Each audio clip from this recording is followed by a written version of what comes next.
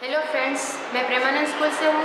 आज प्रेमानंद स्कूल की A lab में स्टेम इंडिया के कोऑर्डिनेटर्स ने रोबोटिक्स वर्कशॉप किया।